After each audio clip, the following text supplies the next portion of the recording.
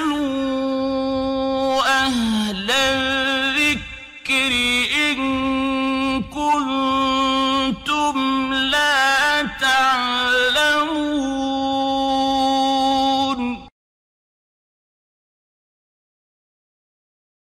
ওয়ালাইকুম আসসালাম রহমতুল্লাহি ওবরাকাত যে আমাদের একদিন বোন জানতে চেয়েছেন যে মহিলাদের চুল ঝরে গেলে ওই চুলগুলা কি বিক্রি করা যাবে অনেক জায়গায় দেখি মহিলাদের ঝরা চুল বিক্রি করে। এরকম যদি বিক্রি করে, তাহলে গুণ হবে কি?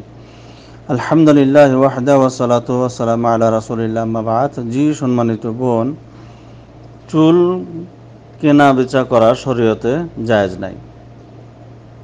কারণ একটা জিনিস আমাদের জানতে হবে, সেটা হলো এই মানুষের যে অঙ্গ প্রত্যঙ্গ, চুল ইত্যাদি রয়েছে, এগুলো সবই হচ্ছে মর্যাদার বস্তু।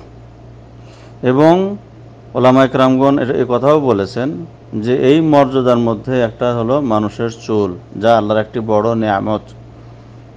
তাই এই চুল সংযুক্ত থাকা অবস্থায় যেমন বিক্রি করা না যায়, তদরূপ পৃথক হওয়ার পরেও সে চুল বিক্রি করা বা কেনা না যায়।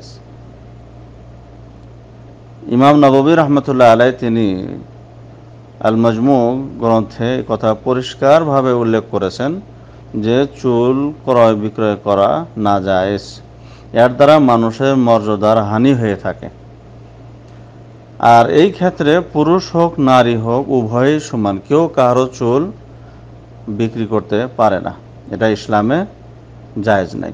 বাকি, আল্লাহ আলম বেসবাব সালাম আলাইকুম রহমতুল্লাহি ওবরাকাত